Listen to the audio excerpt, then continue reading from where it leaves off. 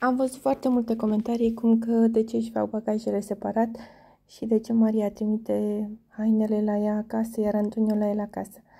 Este foarte simplu, pentru că ei nu au o casă lor, nici Antonio nu are o casă a lui, nici Maria. Maria locuiește cu familia ei, Antonio în Constanța.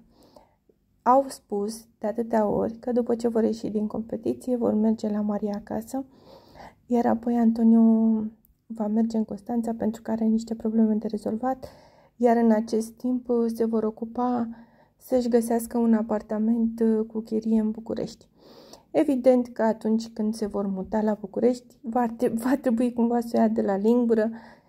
Vă dați seama, exact așa cum fac toți cei care se mută într-un apartament cu chirie. Atunci își vor aduce lucrurile de care au nevoie. Sunt multe pe care nici nu le mai folosesc. Și atunci era mult mai ușor să le trimită fiecare la casa lui. Iar atunci când își vor închiria acel apartament, vor veni cu lucrurile pe care le vor folosi. Este foarte simplu, nu mai căutați not în papură. Majoritatea, cred că, spre exemplu, Diana locuiește în Spania, n-avea cum să le trimită în Spania. Dani are casa lui, le trimite la el acasă. Adică sunt lucruri normale, firești.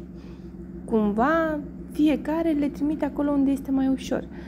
Ca din acele lucruri să-și ia doar necesarul sau ce au nevoie atunci când se vor muta împreună. Este foarte simplu, vă spuneam, nu mai căutați nimic că nu aveți ce, adică, na, ce să mai zic. Oricum au dat uh, dong uh, cine a terminat bagajul să-l ducă deja la confesional și probabil că va trebui să închidă ușile, nu?